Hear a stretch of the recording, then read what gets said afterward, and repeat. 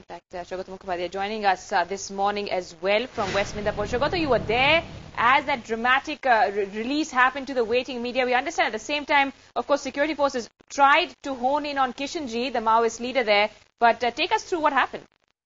Well, uh, let me assure you this, that it was one of the most dramatic experiences of my journalistic career where uh, we were waiting at Jhargram uh, since morning yesterday because we had the information that uh, the Maoists would release uh, who they declared their prisoner of war and as per war convention would release uh, the prisoner uh, in front, front of a neutral third, third party. And here in this case it would be the media persons but we did not know where and when they would do it so we were waiting at Jhargram almost all the media persons who had assembled here to cover this entire development that was taking place for the last two three days and we had assembled here finally got in touch with uh, the Maoist leaders from uh, from our base in Jhargram, and we were asked to you know uh, switch off our mobile phones, move to a place called Dherua. Now Dherua was uh, is incidentally uh, one of those places where right. Uh, several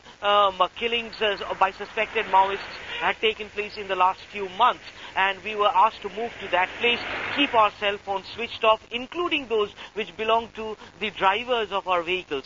Uh, from there, uh, uh, we were uh, established, uh, we, we, were contacted uh, right. by the Maoists themselves taken to this place called Bhulagara where we waited for another two hours or so and mm. and at around after you know it was it was pitch dark right. when at around 6:30 when when Kishenji accompanied by at least 10 other armed uh, Maoists uh, appeared from nowhere and uh, and brought the prisoner right. of war with them addressed the media and released the prisoner of war of in front of the media